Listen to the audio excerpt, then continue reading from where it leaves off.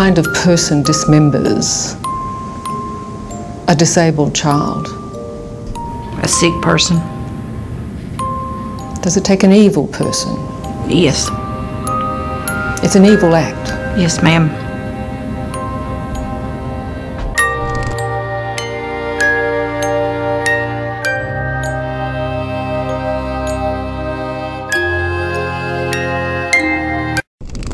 Sarah Baker tenía muchos días de haber desaparecido cuando su madrastra y su padre lo reportaron a las autoridades. Si bien durante los primeros días ellos estuvieron en las búsquedas, poco tiempo después de iniciada la investigación, la policía se dio cuenta que ambos tenían un horrible secreto.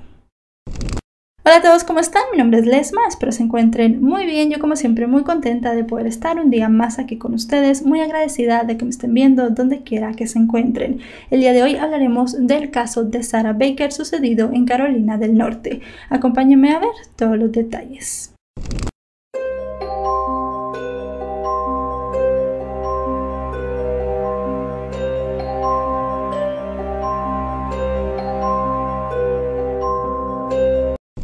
El 16 de noviembre en Wagga Wagga, Australia, nació una niña a la cual llamaron Sarah Claire Baker.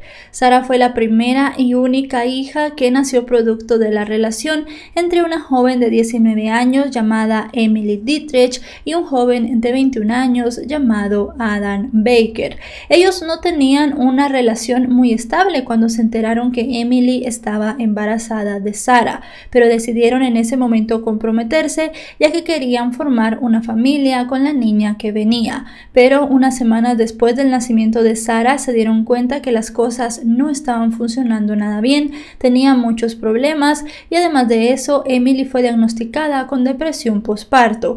Cuando Emily recibió este diagnóstico, ella decidió cederle por completo la custodia de Sara a Adam. Quería mejorar, estar al 100% para su hija y sabía que en ese momento eso no era posible. Eso sí, ella llegó a un acuerdo solamente de palabra con Adam porque no llegaron a firmar nada de que podría ver a la niña cada vez que ella quisiera. Adam se mudó junto con sus padres y un año después del nacimiento de Sarah, él decidió dejar Wagga Wagga para irse a Queensland. En ese momento cortó toda relación con Emily. Emily comentó que Adam no había seguido el acuerdo que ellos tenían, le prohibía ver a Sara, le ponía excusas, también era muy evasivo cuando ella le preguntaba cuándo podía ver a su hija y según dijo la última vez que tuvo un contacto directo con Sara fue cuando la pequeña tenía 8 meses de haber nacido. Con la mudanza a Queensland la relación entre Emily y Sara terminó para siempre, ya que nunca volvió a hablar ni tampoco a ver a su hija. Adam comentó a amigos y familiares que él estaba haciendo lo que creía era lo mejor para Sara. En el año 2005 la niña fue diagnosticada con cáncer de hueso. Producto de este cáncer de hueso, ella tuvo que sufrir la amputación de una de sus piernas y le pusieron una prótesis. Además de eso, también producto del cáncer, llegó a perder mucho su audición y tuvieron que ponerle unos aparatos para que ella pudiera escuchar mejor. A pesar de todo lo que estaba pasando en su vida, siempre Sara se mostraba con una sonrisa. Según dijeron las personas que la conocieron a su corta edad, siempre veía lo mejor de todas las situaciones. Incluso llegó a decir que la prótesis que tenía en su pierna era su pierna de Barbie. Como les digo, tenía una muy buena actitud a pesar de ser tan pequeña y tal vez no entender muchísimas cosas. Algo que todos los que la conocieron en esa etapa de su vida dijeron que admiraban muchísimo de ella. La niña entró en remisión en el año 2008 y con eso ya la familia esperaba poder cerrar ese capítulo en su vida. Entre los años que Sara estuvo en tratamiento por el cáncer, o sea, entre 2005 y 2008, su padre Adam se refugió en las salas de chat. Adam siempre había sido una persona que no le gustaba socializar, era muy tímido, no tenía muchos amigos. Y cuando pasó ese momento de su vida, él comenzó a buscar apoyo en otras personas, personas que conoció a través de internet internet. Él hizo muchos amigos en línea, pero especialmente llegó a hablar mucho con una mujer llamada Elisa Fairchild que vivía en Carolina del Norte, Estados Unidos. Cuando comenzaron a hablar, él tenía 31 años y ella tenía 40. A Adam no le importó mucho la diferencia de edad, él y Elisa tenían muchas cosas en común. Tampoco les importó mucho la distancia, el estar en otro continente y no tener pues los medios como para verse seguido, para llegar a conocerse. Cuando se supo que Sara entró en remisión, Elisa decidió viajar hasta Australia para conocer a toda la familia. Se llevaron tan bien que incluso llegaron a casarse en ese viaje que hizo Elisa. Luego de unos meses de que ella estuviera en Australia, la familia decidió que se mudarían hacia Estados Unidos. Se irían Elisa, Adam y la pequeña Sara. Para los padres de Adam era esto una preocupación, sabiendo que la niña había tenido cáncer, porque en Australia ella había recibido todos los tratamientos de manera gratuita, cosa que en Estados Unidos no iba a pasar. Pero Elisa les dijo que ella tenía mucho dinero en su país y que si Sara volvía a necesitar algún tratamiento, ella podía cubrirlo al 100%. Los padres de Adam se quedaron más tranquilos con eso y fue en ese momento que la familia se mudó hacia Carolina del Norte. Cuando llegaron a Carolina del Norte, Adam se enteró de muchas cosas que Elisa le había escondido. Él no era su primer esposo, ella ya había estado casada en seis ocasiones y además de eso había tenido tres hijos. Todo esto no lo sabía Adam y esos tres hijos no vivían con ella. Servicios sociales le había quitado la custodia a esta mujer de sus hijos porque ella era negligente con ellos, no los cuidaba y además de eso también había llegado a maltratarlos de manera física en varias ocasiones. Incluso le llegó a decir que ella no estaba del todo divorciada de su último esposo, el que había tenido antes que él, que todo todavía estaba en un trámite. Adam dijo que Elisa le había presentado a este chico un hombre de nombre Aaron como su hermano. Ni siquiera le había dicho que era su ex esposo, sino hasta unas semanas después. Además de eso, Adam se dio cuenta que Elisa no tenía dinero. Ella lo que hacía para vivir era vender droga al menudeo y era algo que a él no llegó a gustarle mucho, pero tampoco llegó a separarse de Elisa. Lo que pensaron los padres de Adam que él tenía que hacer en ese momento era regresarse a Australia porque él les contó todo lo que estaba pasando, pero Adam les dijo que le daría una segunda oportunidad a la mujer. Adam, Elisa y Sara se fueron a vivir con el padre de Elisa. Estuvieron solamente unos meses en la casa del hombre ya que él llegó a echarlos porque ellos no aportaban dinero para pagar la renta ni los gastos. Adam no podía tener un trabajo ya que él no tenía un permiso para poder trabajar en los Estados Unidos, cosa bastante extraña porque estaba casado legalmente con Elisa y a través de este matrimonio él podía pedir algún permiso o algún tipo de visa, pero nunca lo llegaron a hacer. La única que llevaba dinero a la casa era la mujer, producto de las ventas de droga que hacía, pero como ella también consumía, realmente el dinero que le quedaba de todo esto era muy poco. Durante los meses que estuvieron viviendo con el padre de Elisa, Sara fue inscrita en el colegio, ella comenzó a ir a clases, tuvo amigos, las profesoras hablaban muy bien de ella, pero cuando el padre de Elisa echó a la familia de la casa, ellos también sacaron a la niña del colegio. Elisa dijo que lo mejor para Sara era que ella le enseñara en casa debido a que supuestamente para ella no se había podido adaptar del todo al sistema educativo en Estados Unidos. La familia se mudó a un duplex. De ese duplex también los echaron por no pagar la renta. De nuevo el dinero era muy escaso, ellos no tenían para cubrir sus necesidades. Luego de que los echaran de este duplex se fueron a vivir a un parque de caravanas en una casa rodante. Aquí todo era un poco más barato, así que pudieron estar durante algunos meses. Pero de nuevo, la adicción de Elisa a las drogas hizo que se quedaran sin dinero y al final tuvieron que irse. Se terminaron mudando a una pequeña casa en las afueras de Carolina del Norte. En esa casa el casero necesitaba una persona que le ayudara en su trabajo. Él tenía una empresa de construcción y Adam se ofreció a hacerlo. Él de cada pago que le tenía que dar a Adam les contaba de una vez la renta, así que en este lugar ellos no tuvieron problemas para poder pagar el sitio y nunca llegaron a estar ni fuera de fecha ni nada de eso. Del poco dinero que quedaba de lo que Adam ganaba, ellos cubrían las demás necesidades que tenían. Mientras estaban viviendo en esta nueva casa, Servicios Sociales visitó a la familia en cuatro ocasiones. Y es que los vecinos del parque de caravanas de casas rodantes llegaron a poner varias denuncias, denuncias que tardaron meses en llegar a los servicios sociales directamente y fue por eso que cuando empezaron la investigación la familia ya no vivía ahí. Según los vecinos del parque de las casas rodantes, Sara era una niña que siempre estaba muy triste, siempre mostraba golpes en su cuerpo y además de eso la veían muy delgada. Para muchos sus padres no le daban de comer a la pequeña y obviamente esto les pareció muy mal y por eso llamaron a los servicios sociales. Pero en las cuatro visitas que servicios sociales hicieron a la familia determinaron que no había ningún signo de abuso ni de negligencia con la pequeña y decidieron dejar la custodia con Adam y con Elisa. Tampoco llegaron a preguntar nada del estatus migratorio tanto de Adam como de Sara porque ellos no tenían ningún permiso para vivir en Estados Unidos, pero parece que esto tampoco había sido algo muy importante para servicios sociales y lo dejaron pasar. Fue el día 9 de octubre del año 2010 por la madrugada que las cosas comenzaron a salir muy mal en la familia. Elisa hizo una llamada. Supuestamente unos vándalos habían llegado al jardín trasero de la casa y lo que habían hecho era hacer un pequeño fuego con algunas cosas que habían encontrado en la cochera.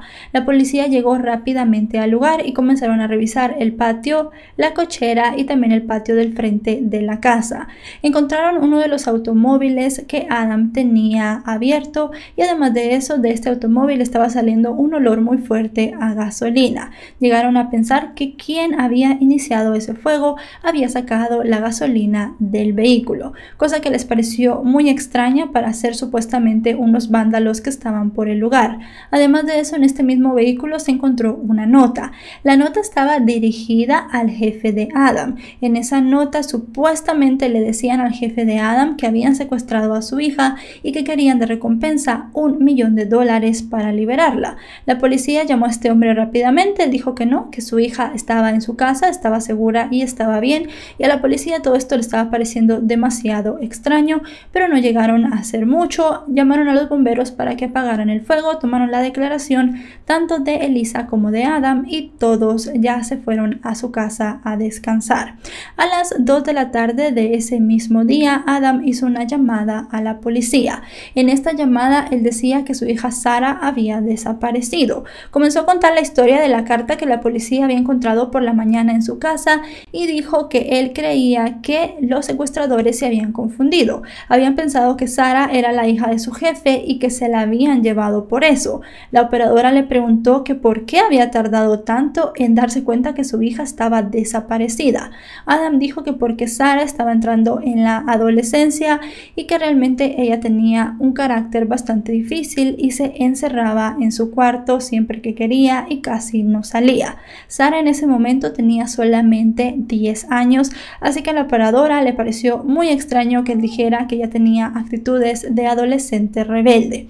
Al final de cuentas tomaron la descripción de Sara y activaron una alerta Amber para comenzar a buscar a la niña.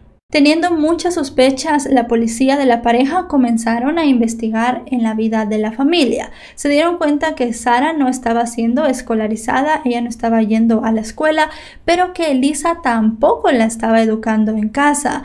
Ella tenía que haber pasado por una serie de exámenes y además de eso por un seguimiento para ver si Sara iba al día con sus clases, pero jamás habían hecho esto. Además de eso, varios de los vecinos de esta nueva casa dijeron que ellos ni siquiera sabían que la pareja tenía una niña a su cargo porque la menor nunca salía de la casa.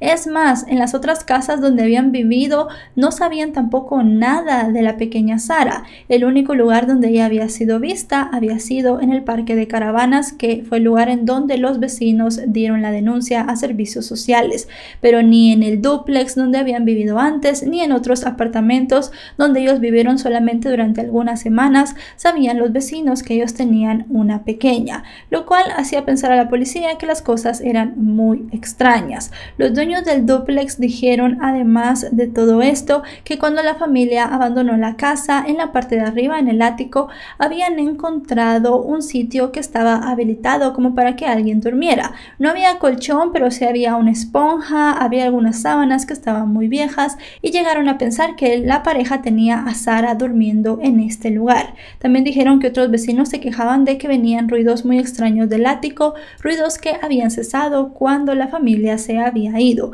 Así que con esto también llegaron a especular que tal vez ellos dos maltrataban a la niña en este sitio. Se llevaron muchos voluntarios, muchos agentes también del cuerpo de la policía de Carolina del Norte se unieron en las búsquedas, helicópteros y perros especializados. Buscaron a Sara por los lugares cercanos a su casa para ver si ella tal vez no había huido, pero realmente era muy difícil de pensar que la niña hubiese huido, no tenía dinero, no tenía identificación, tenía solamente 10 años cuando todo esto pasó y no entraba en el perfil de una chica que pudiera huir de su casa, y es que jamás había huido del lado de su padre y su madrastra.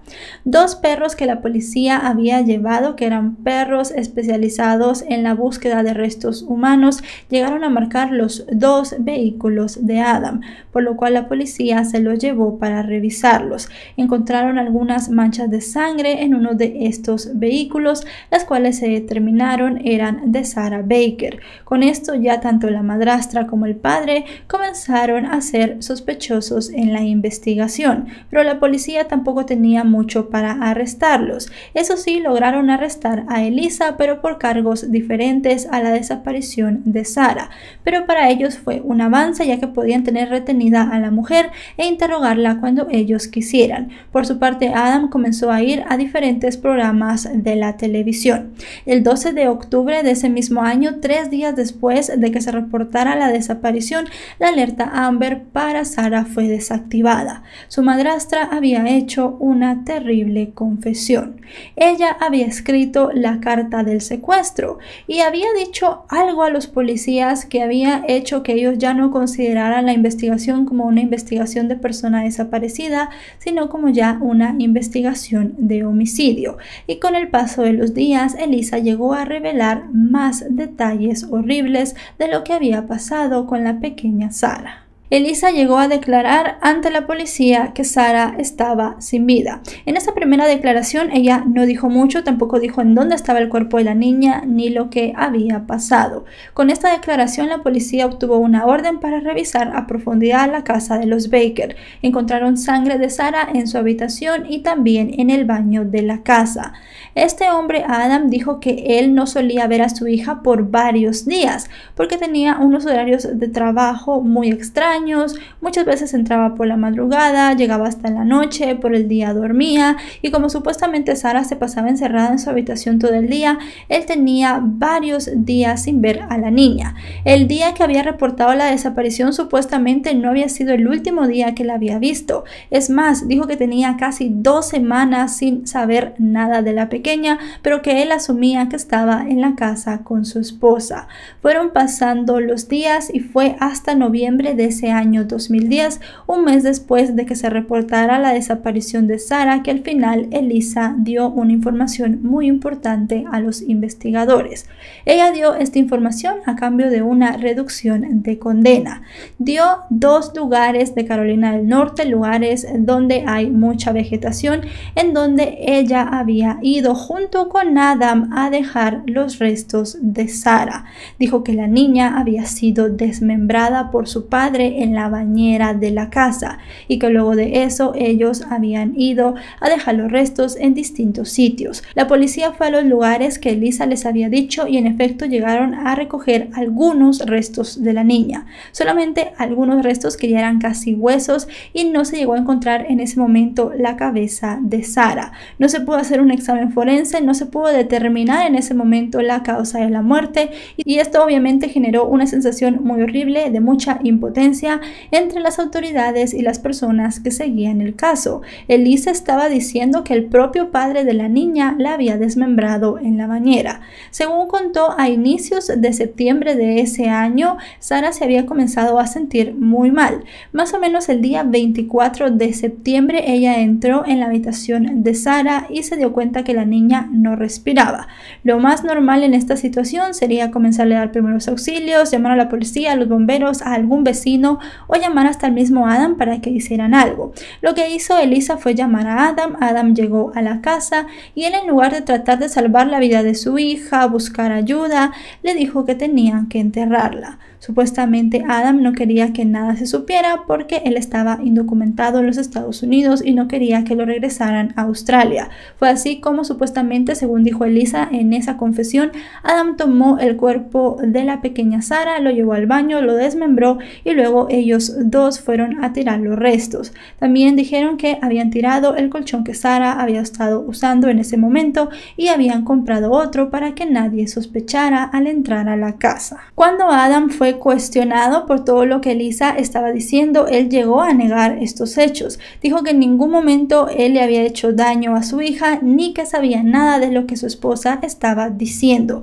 Adam también fue llevado a la cárcel, pero por otro cargo. Él había pagado con algunos cheques falsos y cheques sin fondo, así que también la policía lo llevó para poderlo interrogar, no solamente por estos delitos, sino también por lo que le había pasado a Sara. Él llegó a pasar de manera exitosa la prueba del polígrafo, mientras que Elisa no lo hizo. Se vio que ella estaba mintiendo en toda su historia. La policía trató de geolocalizar los teléfonos de ambos el día en el que Elisa había dicho que Sara había fallecido. Se determinó que el teléfono de Elisa había estado en los lugares donde se habían encontrado los restos de Sara, mientras que el teléfono de Adam había pasado casi todo el día en casa de su jefe. Cuando se interrogó al jefe, dijo que en efecto ese día Adam había estado en su casa ayudándole con algunas cosas de construcción pendientes que él tenía en el lugar. Además de eso, ese día había muchas llamadas entre Adam y Elisa y también mensajes de texto, por lo cual la historia de la mujer no se sostenía. Si había pasado todo el día con Adam, no tendrían por qué enviarse mensajes ni hacerse llamadas, y de igual forma el teléfono tenía que estar en la misma localización que el de ella. Así que Adam fue sacado completamente de la investigación y se tomó como que Lisa era la única responsable del asesinato de la niña. La mujer fue imputada por homicidio y fue llevada a un juicio. En el juicio declararon las primeras profesoras que tuvo la niña cuando llegó a Carolina del Norte. Estas profesoras dijeron que ellas en varias ocasiones habían visto que Sara llegaba golpeada y también veían que la niña no estaba alimentada como debería ser, estaba muy delgada, se quedaba dormida en las clases y parecía que no ponía mucha atención a lo que ellas les decían. Declararon también los vecinos que como ya les comenté, no sabían que Sara existía y con esto ya la fiscalía determinó que tanto Elisa como Adam habían tenido retenida a Sara en la casa y la maltrataban. Eso sí, a Adam nunca se le llegó a juzgar por ningún delito relacionado con su hija, solamente a Elisa. Elisa, para no afrontar un juicio que le diera una pena muy larga y habiendo ya colaborado con las autoridades, decidió declararse culpable del asesinato de Sarah Baker. Obtuvo una pena de 18 años de prisión, una pena que hizo que todo el mundo se molestara. Para las personas que habían seguido el caso, para los familiares de Sara en Australia, esta pena era demasiado corta para lo que esta mujer había hecho. Todo esto fue en el año 2011. En el año 2012 se encontró un cráneo que la policía determinó era el cráneo de Sarah Baker. Este cráneo tenía un golpe muy fuerte en la cabeza. Con este cráneo se pudo hacer una cronología de lo que según la policía podría haber pasado el día que Sara fue asesinada por su madrastra. Sara había estado sufriendo maltrato por su madrastra los meses anteriores. Su padre había sido muy negligente porque si bien era cierto que él tenía un horario muy extraño, nunca se había preocupado al 100% por su hija. Esta mujer, Elisa, le pegaba a Sara, no le daba de comer y la mantenía encerrada. Se cree que ese día llegaron a discutir por algún motivo y Elisa le dio un golpe muy fuerte a Sara en la cabeza. No se sabe exactamente por qué. Cuando vio que la niña había fallecido debido al desangramiento por este golpe, la llevó a la bañera, la desmembró y luego de eso fue a esparcir las partes del cuerpo de la pequeña en diversos lugares de Carolina del Norte. Lo que sí determinó la fiscalía fue que Adam había ayudado a su esposa a tirar el colchón. No se sabe realmente con qué excusa ella le dijo que tiraran el colchón. No se sabe si Adam sabía que Sara ya no estaba con vida en ese momento, pero una cámara de seguridad los grabó el día 25 de septiembre, un día después de la muerte de Sara, tirando el colchón y comprando el otro. Pero realmente no se sabe qué pasaba por la cabeza de Adam en ese momento. Y como todo eran especulaciones, él realmente no tuvo un juicio por todo esto. El hombre fue deportado hacia Australia porque, como ya sabemos, no tenía un permiso para permanecer en los Estados Unidos y el cuerpo de Sara también fue enviado a Australia para que sus familiares se despidieran de ella en aquel lugar. Elisa Baker sigue diciendo que ella es inocente, que fue Adam quien desmembró a la niña y que además de eso la pequeña había fallecido por alguna enfermedad que tenía, enfermedad que nunca se llegó a descubrir porque supuestamente ellos no tenían dinero para poderla curar. Pero todo esto es solamente la versión de ella, no hay pruebas que respalden esto y es más, las pruebas que hay llegan a respaldar la otra versión, que ella desmembró a la pequeña, la asesinó y luego fue a tirar sus restos por diversos lugares. Y bueno chicos y chicas, hasta aquí el video de hoy. Un caso muy impactante, muy duro por la edad de la víctima, por lo que le hicieron y porque era una persona en la que ella confiaba que tenía que haberla cuidado. Como les digo, Elisa sigue diciendo que es inocente, ella dice que fue Adam, no hay pruebas, el caso está cerrado, no se hará ningún otro juicio y ella ha quedado como la culpable, ella misma se declaró culpable. Eso sí, una condena bastante corta, si vamos sacando cuentas ya se acercará la fecha en la que esta mujer sea liberada de la cárcel, lo cual es bastante lamentable porque Sara ya no pudo vivir su vida. Si este video les ha parecido informativo, recuerden dejarle un me gusta, recuerden suscribirse si no lo están, actualizo tres o cuatro veces por semana y si están suscritos les llegará una notificación cada vez que yo suba un video. No me queda nada más que decirles que nos vemos hasta otro caso. Adiós.